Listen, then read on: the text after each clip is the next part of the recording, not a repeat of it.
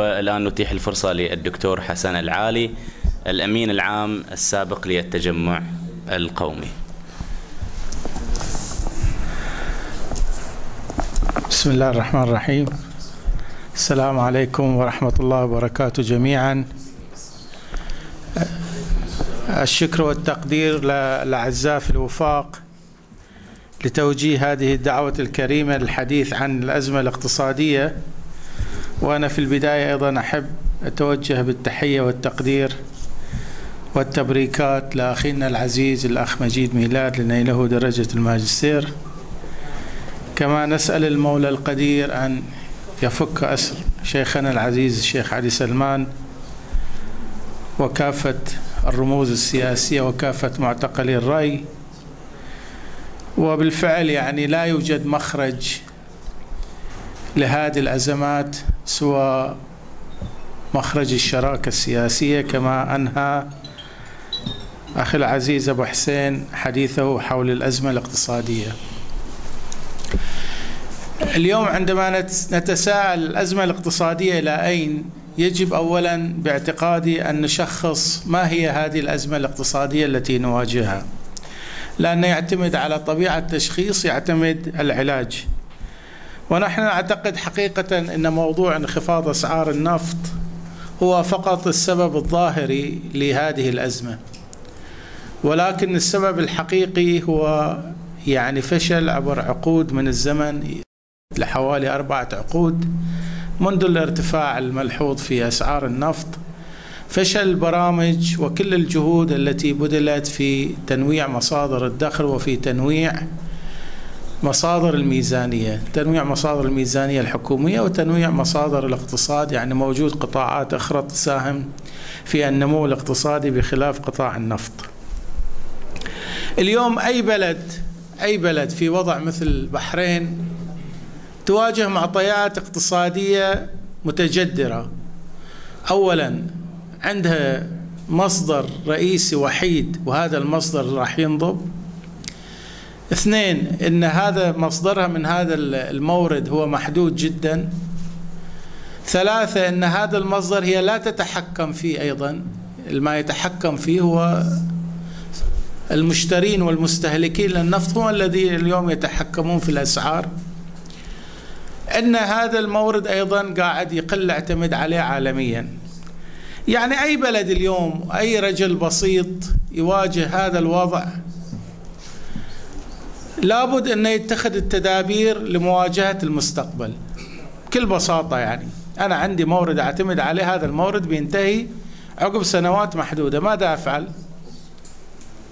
اولا يعني فيه ثلاث خيارات رئيسية. يجب أن أبني احتياطيات مالية يعني آخذها من سنوات الفائض المالي وأخزنها عندي علشان في سنوات العز أستخدمها وهذا يعني سيرة نبينا النبي يوسف في القرآن واضحة يعني في هذا الموضوع. يعني سنوات العجاف. فهذا منطق جدا كان المفروض بديهي الواحد يشتغل عليه يعني الاحتياطيات المالية. الخيار الثاني هو تنويع مصادر الميزانية. نفس اللي فصل فيها أستاذنا عبد الجليل. والخيار الثالث هو تنويع الاقتصاد.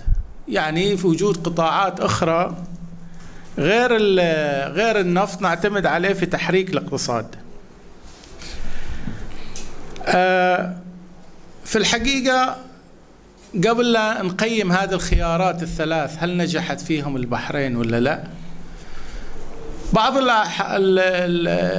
الحديث يدور إنه والله البحرين واجهت سابقا هذه الأوضاع واستطاعت تتجاوزها. يعني نعرف في 86 وصل البترول ل 10 دولار. مرة ثانية في 97 بعد الأزمة الآسيوية وصل أيضا ل 10 دولار. بعد الأزمة العالمية 2008 وصل إلى 40 دولار. وقدرت يعني الدول تواجه هذا وتستعيد عافيتها لكن إحنا نقول إن لا هالمرة الوضع يختلف عن كل مرة. ليش؟ لأن هالمرة أولا ميزانية النفقات جدا اتضخمت بحيث ما عاد في مرونة لتخفيضها أو التلاعب فيها. يعني اليوم الميزانية المصروفات المتكررة 45% هي نفقات أمنية رواتب عسكرية وأمنية. و 25% هي سداد فوائد وأقساط القروض. يعني هذه حال الميزانية المصروفات المتكررة. هذا أولا.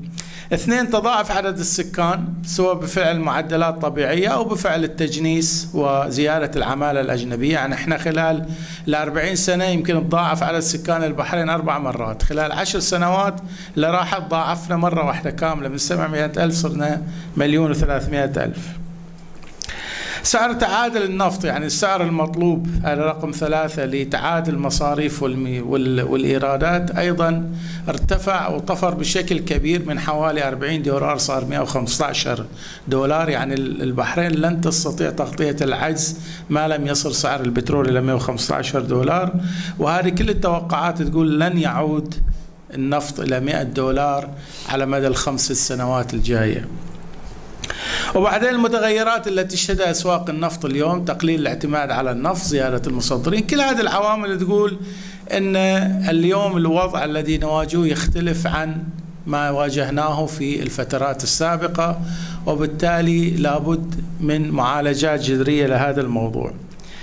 نعود مرة ثانية للحديث عن الخيارات اللي تكلمنا عنها الثلاث اللي هو بناء الاحتياطيات المالية تنويع مصادر الميزانية تنويع القطاع الاقتصادي. الاحتياطيات المالية.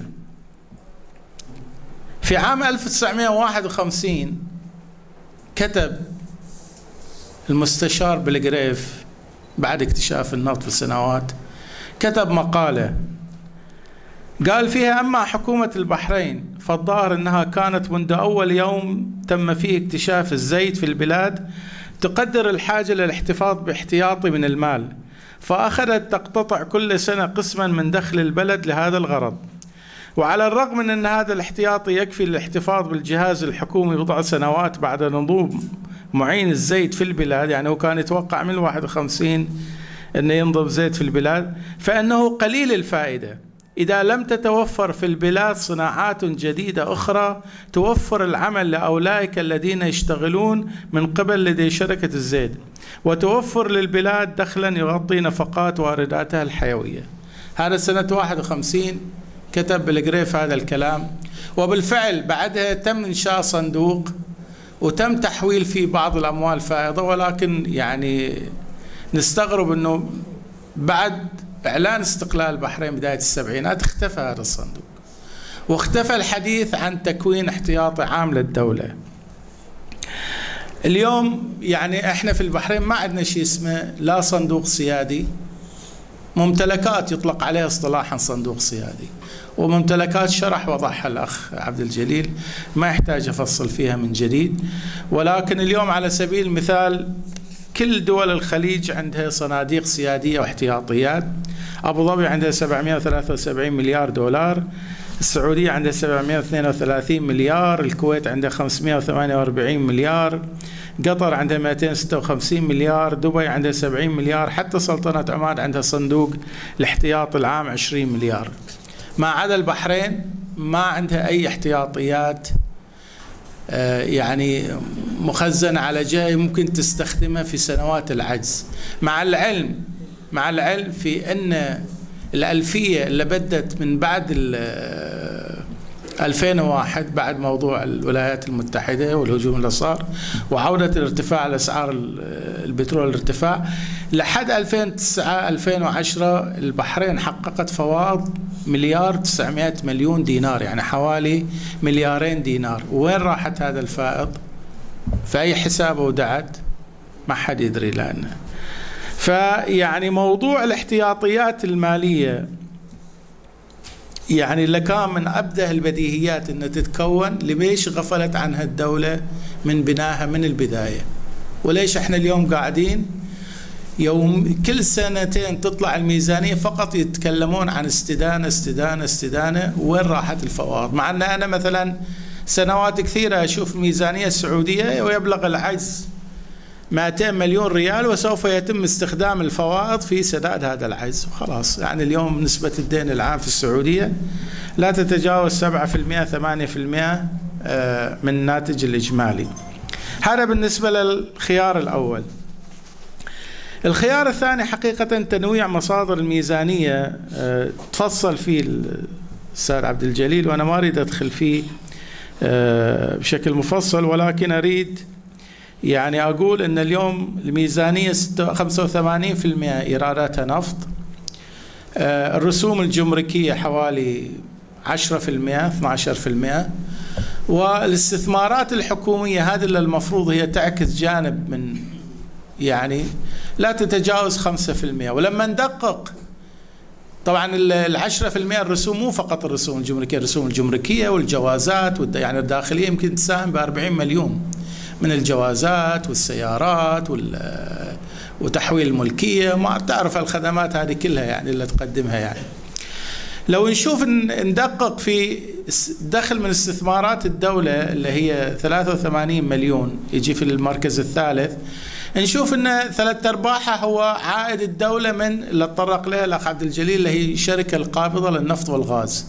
يعني اللي أعطوها أحسن الشركات تديرها فقط تدخل اللي هي في قطاع النفط والغاز فقط تدخل بحدود 55 مليون دينار. وبقية استثمارات الدولة هذه الإيجارات اللي تجي على الدولة من العقارات اللي مجرتنها أما هل في استثمارات حقيقية للدولة؟ لا ما في أي استثمارات طول هذه الفترة. فاذا معناته تنويع مصادر الميزانية لحد اليوم إحنا نفس المشهد اللي عليه من قبل 35 40 سنة. وبالتالي الميزانية حتى فقدت قدرتها على أنه تحرك الاقتصاد لأن هي محكومة بنفقات غير مرنة مثل ما قلت. يعني الرواتب اليوم آه، الأخ جمال فخرو يقول الرواتب مليار ونص من مجموع مليارين ونص يعني حوالي نعم سنة واحدة سنة واحدة سنة واحدة الرواتب مليار ونص. بس اللي ما قال الأخ آه، جمال هو أن 880 مليون من المصاريف المتكررة اللي هي 45% فقط ميزانية الدفاع والداخلية وجهاز الأمن الوطني فيعني هذا يعني ميزانية وهذا يعني 880 مليون بكل سهولة تقدر تحركها لو أوجدت حل سياسي في البلد تتخلص من كل هالنفقات الأمنية والعسكرية. آه، موضوع أيضا أريد أنا فقط في موضوع تنويع يعني تنويع الميزانية أريد أتطرق لموضوع قضية هذا رفع آه، البنزين. حقيقة يعني هذا الشيء اليوم صار آه، 160 فلس يعني معروف إن البرميل برميل النفط يعني 159 لتر ممكن تسوي 40% بنزين و30% كيروسين و20% ما أعرف إيش. بس لو فرضنا إنه سوينا ال 159 لتر كله بنزين وضربنا 159 في 160 فلس يطلع حوالي 25 دينار ونص. يطلع يعني بالدولار 67 دولار للبرميل. يعني اليوم الحكومة تبيع النفط هي يكلفها 10 دولار سعره في السوق 30 دولار لكن تبيع على المواطنين ب 67 دولار. يعني يعني هذا هو مو مو رفع الدعم هذا حقيقة ضريبة. ضريبة قاعدة تفرضها على الناس لأن يعني آه، اليوم لما وصل 140 دولار كنت تبيع 100 آه، فلس. واليوم لما وصل 30 دولار تبيع 160 فلس. يعني هذا لو نضرب ال 160 فلس 159 لتر يطلع مثل ما قلت. 67 دولار للبرميل هذا معناته قاعد تبيعه ضعف سعره في السوق يعني. أيضا آه، يعني الدين العام حقيقه كانت إدارته جدا سيئة. يعني هو ده اللي قاعد يحمل الميزانية أعباء جدا كبيرة. لأن الدين العام إحنا نستغرب يعني إنه اللي بيبلغ حوالي 9 مليار دينار مع عام 2016 أه نستغرب إن من 2009 وقت اللي كانت البحرين تحقق فوائد أيضا كانت تستدين وهذا الموضوع طرقنا له أكثر من مرة. انه يعني نجي نهاية السنة البحرين محققة فائض 400 مليون لكن مستدينة مليار. يعني كيف استم هذا وين راح الدين العام؟ وين راح الفائض؟ ما حد يدري هذا الموضوع. الدين العام من 2001 إلى 2013 تضاعف 12 مرة من 590 مليون إلى 4.4 مليار آه، دينار. الدين العام تضاعف 4.4 بينما خلال هذه الفترة من 2001 إلى 2013 العجز 109 مليار. زين شلون عندك عجز 109 مليار خلال عشر سنوات وتروح تسلف 4.4 مليار مع العلم إن أنت حققت فائض أيضا 1.9 مليار يعني لو استخدمت الفائض في سد العجز ما كان أصلا تحتاج تسلف ال 4.4 مليار يعني فهذه حقيقة يعني آه، فزورات الواحد آه، يعني ما يقدر ابدا يقدر يحلها ولا أكبر اقتصادي ما أعتقد يقدر يحل هذا الموضوع يعني. النقطة الأخيرة إحنا لما اليوم نتكلم عن الميزانية في هذا الجانب نتكلم عن محرك الاقتصاد كله. يعني اليوم اللي يقول إن الميزانية آه، ممكن آه، تلعب دور بالفعل لأن البحرين كل يعني كل الاقتصاد يتحرك بالإنفاق الحكومي. إذا ما في إنفاق حكومي ما راح يتحرك الاقتصاد. وبالتالي يعني الميزانية مو مثل اليابان. اليابان الميزانيه فقط 15% من الاقتصاد. يعني الميزانية طاحت الميزانية قامت. الاقتصاد قاعد يتحرك بروحه لأنه يقوده شركات ضخمة وكارتلات وقطاع خاص و. في ألمانيا الميزانية تشكل 8% من الاقتصاد. يعني ما له علاقة إلا بشكل بسيط يعني الإنفاق. بينما في البحرين الانفاق قاعد ياخذ دور رئيسي وما أريد أفصل أكثر اذا ننتقل للخيار الثالث اللي هو موضوع خيار تنويع الاقتصاد الوطني وهذا المقصود فيه إن أنت توجد قطاعات ثانية إلى جانب النفط آه، بحيث إن لو صاح النفط على الأقل هي تظل تحرك الاقتصاد وتسوي نمو اقتصادي بحيث يظل يعني هناك في وظائف في آه، طلب على السلع إلى آخره من هذه الأمور. تعرفوا إن إحنا يعني حقيقة انتباه لهذا الموضوع من نهاية الستينات إلا لما تأسست ألبا نهاية الستينات. ولكن هذه التجربة اللي جاءت لتنويع مصادر الدخل يعني سيرتها تكلم فيها أبو حسين واجد. يعني وين وصلت سيرة ألبا؟ وشلون تعرضت للانتهاك؟ وشلون تعرضت للفساد؟ وشلون اموالها انسرقت؟ وشلون؟ يعني هذه التجربة الرئيسية اللي كانت في تنويع مصادر الدخل من نهاية الستينات. أيضا في الحقيقة كانت محاولة جيدة ولكن حصل حاليا وصلت إلى مرحلة متشبعة. يعني ما عاد تساهم أكثر. له موضوع المركز المالي للبحرين صح في منتصف السبعينات. شوية يعني كان في ولد وظائف ونوع مصادر دخل ولكن حاليا ما عاد يلعب دور أكبر من الحجم اللي هو فيه. جينا ل 2002 بعد ما يسمى بمشروع الإصلاح طرحنا موضوع قضية مجلس التنمية الاقتصادية. مجلس التنمية الاقتصادية طرح رؤية للإصلاح الاقتصادي وإصلاح سوق العمل وإصلاح التعليم. وكان يفترض إنه يبدأ بالإصلاح الاقتصادي ولكن بقدرة قادر اختفى شيء اسمه الإصلاح الاقتصادي وراح فقط لإصلاح التعليم اللي هو يعني فقط فرض رسوم على الشركات القطاع الخاص الشركات الصغيرة والمتوسطة وإن هذه الفلوس تأخذها تمكين والمفروض تدعم فيها برامج للقطاع الخاص. اليوم بعد مرور عشر سنوات يعني على هذا المشروع إصلاح سوق العمل نشوف إن ما بين اللي هو اليوم اللي سنة اللي بدأ إصلاح سوق العمل ارتفع أعداد العمالة من 352 ألف إلى الربع الأول من 2015 صارت 695 ألف عامل. يعني زيادة 343 ألف عامل من 2006 إلى 2015 حوالي 10 سنوات. منها 343 ألف 251 ألف من هذه الوظائف راحت للعمالة الأجنبية اللي هو 77% راحت للعمالة الأجنبية و23% فقط راحت للبحرينيين إذا ما هي جدوى إصلاح سوق العمل إذا الاقتصاد يظل يولد وظائف ويعني تروح ل فهذا الموضوع مجلس التنمية الاقتصادية حقيقة كنوايا أعلن عنها لتنويع الاقتصاد ما حققت أي شيء. نجي لرؤيه البحرين 2030 اللي هي أيضا أعلنت عن إن نموذج الاقتصاد الحالي تم استنفاده وأنه ما يولد إلا وظائف للعمالة الأجنبية. وذكر في مدخل الرؤية 2030 ما نص إنه شهدت العوام الماضية فرص عمل متدنية الرواتب بأعداد أكبر مما أدى إلى ركود متوسط أجور المواطنين ويقدر عدد الوظائف التي يوفرها القطاع الخاص سنويا براتب تتجاوز 500 دينار بنحو 1100 فرصة فقط للبحرينيين و2700 فرصة لغير البحرينيين. هذا هو يعني وارد في مقدمة.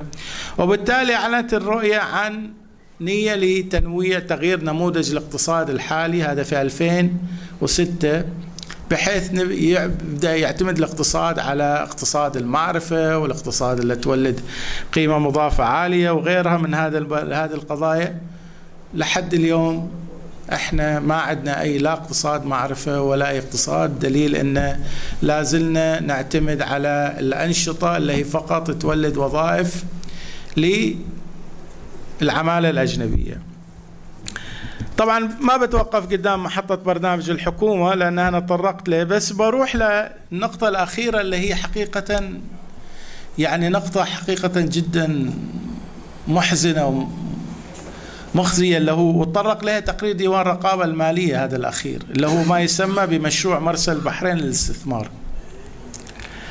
وهذا هو أساسا في 2006 لما طرح هذا المشروع كان يمثل طموح في النوايا المعلنة لتنويع الاقتصاد باعتبار أنه بيكون واحد الصناعات التحويلية وهذه الصناعات راح يتم استثمار اتفاقية التجارة الحرة مع الولايات المتحدة لتصديرها إلى السوق الأمريكي. وحسب النوايا الموجودة أنه كان بيجذب 600 مليون دينار أنه بيوفر 30 ألف وظيفة أنه بيخلق صناعات مخت... يعني خفيفة كثيرة. كانت مساحة المرسى حوالي مليون وسبعمائة ألف مليون متر مربع. بخصص منها 53% للصناعات و15% في المكاتب. نتفاجأ هذه السنة بتقرير ديوان الرقابة المالية. ماذا يقول عن هذا المرسل؟ له كان المفروض يكون واحة صناعية متكاملة. هذا ما ورد في تقرير ديوان الرقابة المالية. لم تقم اولا لم تقم الوزارة بوضع أهداف واضحة ومحددة للغرض من إنشاء منطق مرسى البحرين للاستثمار. إذا اكتفت فقط بالأهداف العامة ضمن مذكرتين رفعتها لمجلس الوزراء. اولا اثنين لم تتضمن الاتفاقية الأهداف الاتفاقية يعني بين وزاره وزارة التجارة والصناعة وبين شركة مرسى البحرين. لم ت... اللي هي دفنت الحد وعملت عليه هذه الأراضي.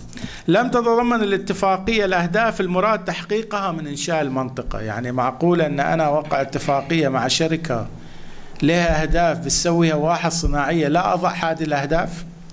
الأمر الذي لا يساعد الوزارة على حمل الشركة على تحقيق الأهداف التي إشارت إليها الوزارة في مذكرتها المرفوعة على مجلس الوزراء يعني هي رفعت مذكرة إلى مجلس الوزراء قالت أن هذا المرسى هو لهذا القصد لما جمعت جد توقع الاتفاقية لم تذكر هذه الأهداف عدم نجاح منطقة المرسى في تحقيق الأهداف المعلنة المتعلقة بجذب الاستثمارات وإقامة الصناعات وال...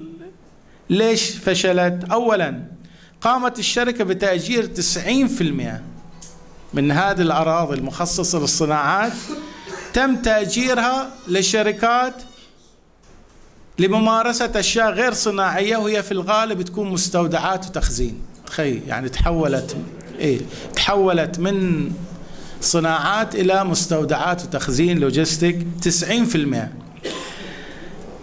بدل ما توفر وظائف ثلاثين ألف فوفرت وظائف فقط أربعة آلاف. وما حد يدري بعد هذا أربعة آلاف بحرينيين ولا غير بحرينيين يعني. بدل ما تجيب 600 مليون دينار فقط استقطبت 21 مليون دينار. من 600 مليون هذا كله وارد في تقرير ديوان الرقابة المالية هذا السنة. نصت الاتفاقية المبرمة مع الشركة المستثمر على اعتبار كلفة دفان منطقة المرسي المرسى أن كإيجار مدفوع وخيرته ما بين يا إما يكون دينار ونص أو كلفة الدفان الفعلية.